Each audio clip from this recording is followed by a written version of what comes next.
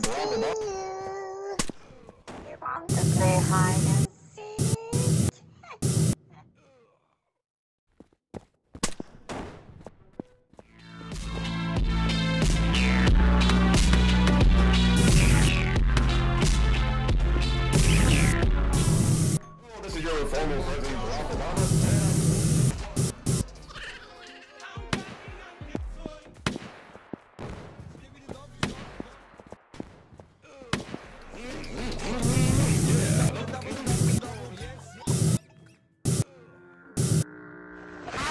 And